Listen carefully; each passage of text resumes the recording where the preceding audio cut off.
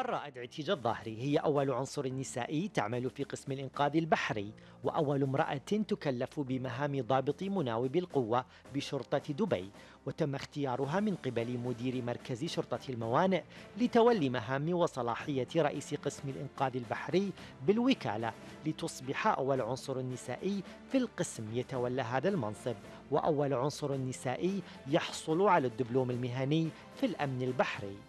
طبعا أنا مسكت رئاسة قسم الإنقاذ البحري بترشيح من مدير المركز في في حينة.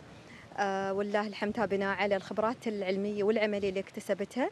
العلمية من خلال دخولي لدبلوم الأمن البحري واجتياز الدورة. وأيضا بالنسبة للخبرات العملية دخولي دورة قيادة الزوارق البحرية. فمن ضمن البرنامج التدريبي المعد لفريق الزوارق البحري دورة الإنقاذ ودورة الغوص.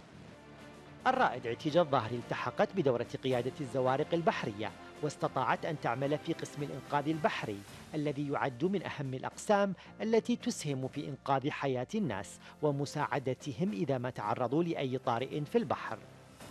حكومتنا الرشيدة شجعت العناصر النسائية أنهم يدخلون ميادين المختلفة إن كانت إدارية أو ميدانية.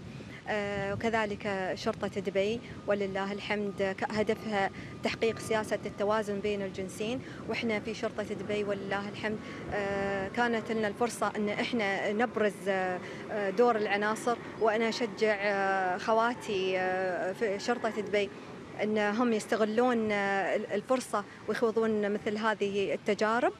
تعد مهمة ضابط القوة إحدى أهم العمليات الأمنية وتتمثل في إشراف ضابط القوة على سير الحالة الأمنية في الإمارة والإشراف على غرفة القيادة والسيطرة ومتابعة البلاغات والحالات الطارئة وسير عمل الدوريات المرورية والأمنية.